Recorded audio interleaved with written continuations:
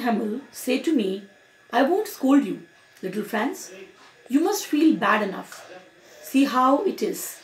Every day we have said to ourselves, Bah, I have plenty of time. I'll learn it tomorrow.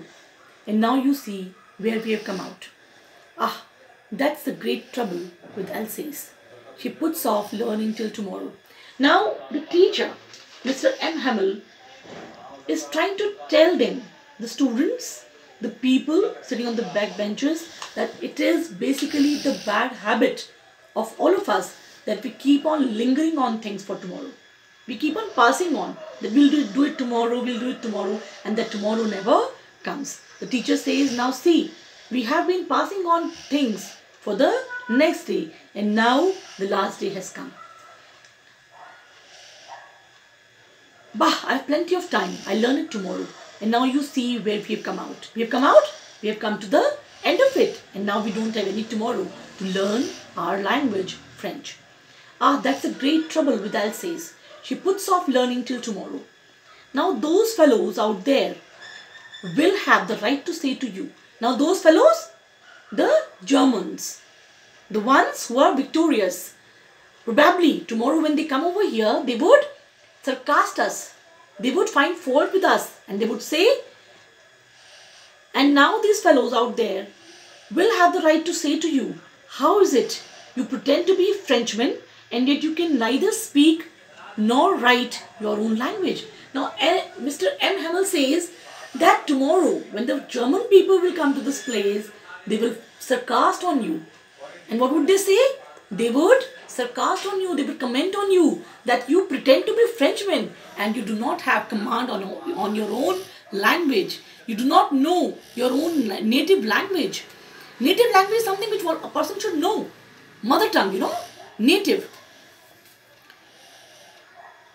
How is it you pretend to be Frenchman and yet you can neither speak nor write your own language? But you are not the worst. Poor little Franz, we have all a great deal to reproach ourselves with. Now the teacher says that it is not the problem with Franz. It is the problem with all the people sitting over there, the people of France in general, because they will all be repenting. They will all be having disappointment, reproachment. Why? Because they never took their language seriously. It is a matter of disappointment for them. Your parents were not anxious enough to have you learn. Now he's, he's talking about the parents. They're also to be blamed. They never took it very seriously. They were never very careful to make their children learn the native language, French. They preferred to put you to work on a farm or to the mills so as to have a little more money. And I, I have been to blame also.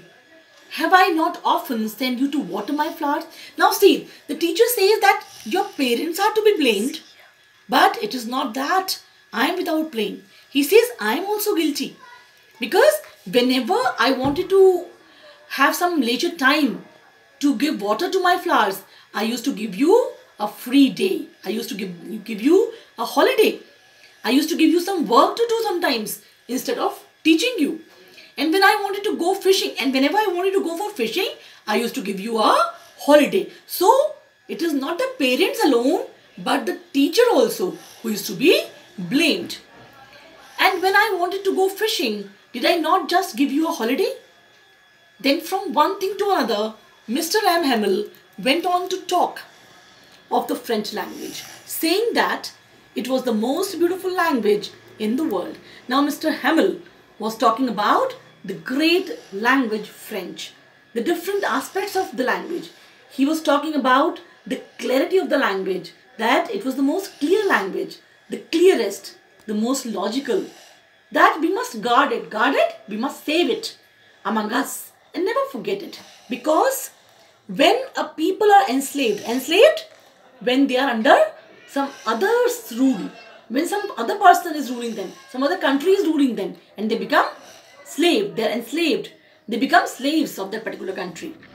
As long as they hold fast to the language, hold fast to the language, if they have command on the language, they know their native language, it is as if they had the key to their prison. Mr. Hamel says that if you know your native language, you have command on your language, then nobody can keep you enslaved for a long period of time. If you have command on your language, it is very sure that you will be out of this prison at the earliest. Then he opened a grammar and read us our lesson. I was amazed to see how well I understood it. Now the child's friend says that it was amazing, it was surprising. He was himself shocked that he was able to understand the language so well that particular day. Because the reason was he was concentrating. He was paying attention. Before this day, he never took it seriously. He never paid attention to the classes. He never paid attention to what the teacher was teaching to him. This was the first day when he was listening carefully to what his teacher was teaching. Then he opened a grammar and read us our lesson. I was amazed to see how well I understood it. All he said seemed so easy, so easy. I think too that I had never listened so, care- so carefully. Now the child is confessing. He says that the fact was I never paid attention to my teacher. My teacher was teaching every day, but I was not attentive. And that he had never explained everything with so much patience. Now he's talking about the teacher also. That the teacher was also not that patient every day. Today, the teacher was teaching in a very in a very systematic manner, in a very gentle manner, with patience, with lot of love and affection, and in a way that the child was able to understand. It seemed almost as if the poor man wanted to give us all he knew before going away and to put it all into our heads at one stroke. Now it seemed that the teacher was knowing it that it was the last lesson and he wanted to give every knowledge of French to his students. In one stroke, in one uh, way, in one lesson, one period, he wanted to give the whole knowledge of French to his students. After the grammar, we had a lesson in writing. That day, M. Hamel had new copies for us, written in a beautiful round hand, France, Alsace, France, Alsace. They looked like little flags floating everywhere in the schoolroom, hung from the ro- rod at the top of our desk. Now, these new copies of French language, they seem to be like little flags, flags of France. The, the sense of patriotism was there in the children, in the people inside the classroom. You ought to have seen how everyone set to work and how quiet it was. Everybody was listening, everybody was studying, everybody was making an effort to learn. The only sound was the scratching of the pens over the paper. Scratching of the pens, the movement of the pens while you write on the paper. That is called scratching. Once some beetles flew in. Beetles, a type of insect. But nobody paid any attention. They were concentrating on the subject. They were concentrating in their books. So nobody was taking any notice of the beetles. Not even the lit- littlest ones who worked right on tracing